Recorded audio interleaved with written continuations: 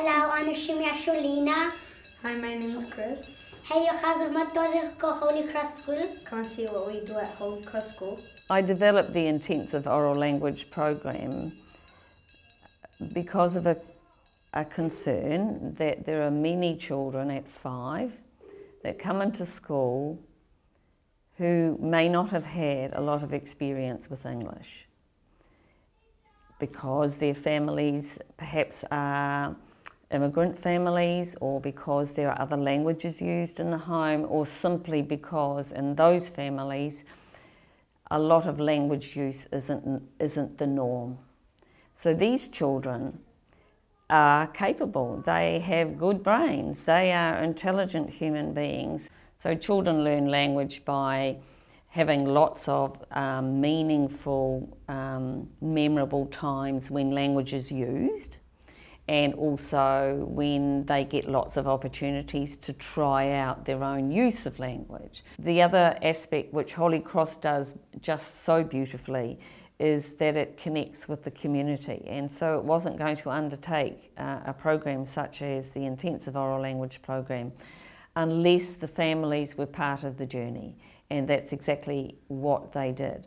So over the three, four years now, it's coming up for the fourth year, of implementing the program, the people that have been in the training and who are also the ones that are implementing so amazingly, beautifully the program, have carried the thoroughness through. They haven't relented on on being thorough, on making sure that's as good as it can be. And in the detail, that means regular meetings, it means sharing on Google Drive, it means preparing just gorgeous material as best as you can. It means really involving families. It means delighting in looking at the data and saying, you know, this is the evidence.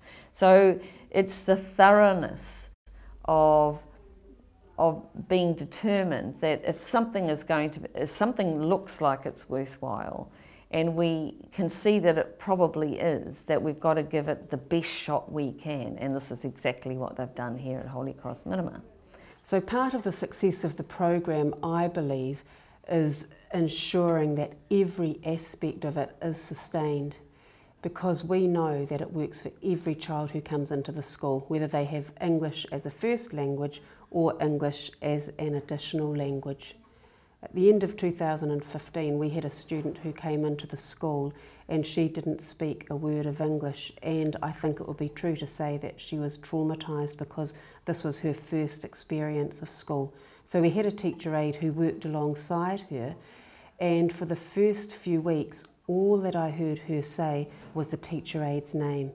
Yet at the end of last year, when we assessed her as a six year old student, she was achieving at the level that is expected of a six-year-old student in New Zealand. So to me, that illustrates really clearly the power of this program because of the huge, huge development that we saw in this child.